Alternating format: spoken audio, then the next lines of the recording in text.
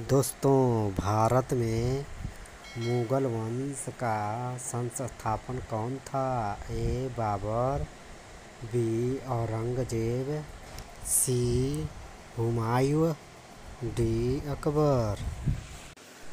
आपका आंसर है ए. बाबर। बाबर का जन्म कब हुआ था?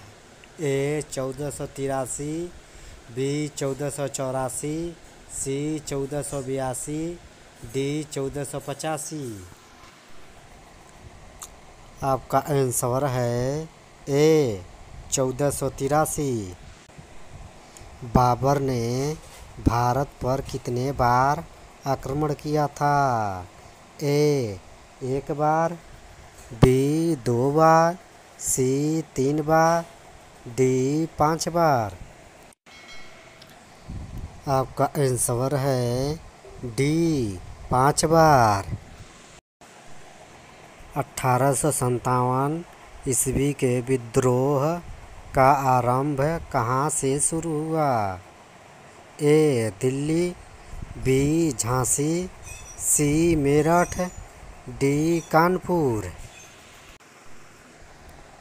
आपका आंसर है सी, मेरठ। इंसान का जन्म सबसे पहले किस देश में हुआ था?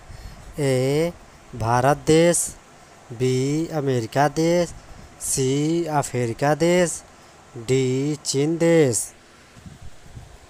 आपका आंसर है सी, अफ्रीका देश।